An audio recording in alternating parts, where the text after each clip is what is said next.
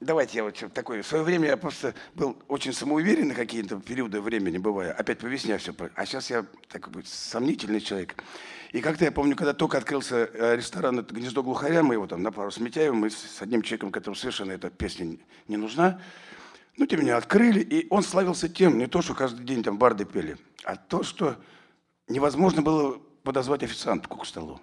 Вот. И если ты все-таки так случилось чудо, ты ее подозвал, даже сделал заказ, заказ получить это практически невозможно. Никто это не да.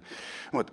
И я привез своих друзей из Германии в этот ресторан, махал руками, я вроде как хозяин почти. В общем, ничего не получалось. И вдруг вижу, Андрюша Анпилов стоит рядом с официанткой. Я говорю, Андрюша, показываю ему, пускай подойдет на своем сурдо языке. Он подходит, говорит, девушка, она говорит, что? Говорит, а нельзя ли подойти вот к этому молодому человеку с усами? Она на так оценивающе посмотрела, сказала, ну, можно, подходите. Вот.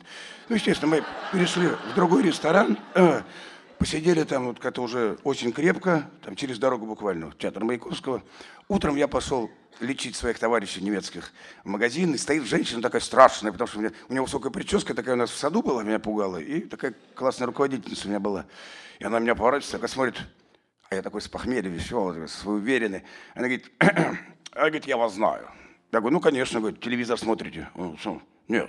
Почему? Вы у моего мужа сторожем работаете. Ну, я, придя домой, написал вот такую песню. Нисколько не вам.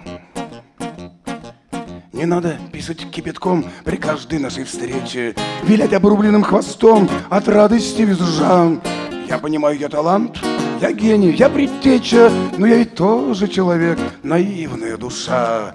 Вполне возможно и ко мне когда-нибудь под вечер В окошко постучится смерть, моя вторая жизнь И скажет здравствуй, мой талант, мой гений, мой предтеча На сборе ровно пять минут тебя там заждались я знаю, вам будет меня не хватать, когда в мир отбуду я лучше. Что будете вы вечера коротать в компаниях пьяных и скучных? Меня похоронят над тихой рекой. Не как пахана, но солидно, но все это будет, мой друг, далеко. Ты спросишь с надеждой, а как далеко? Я знаю, вам будет обидно. Отвечу, отсюда не видно. Все.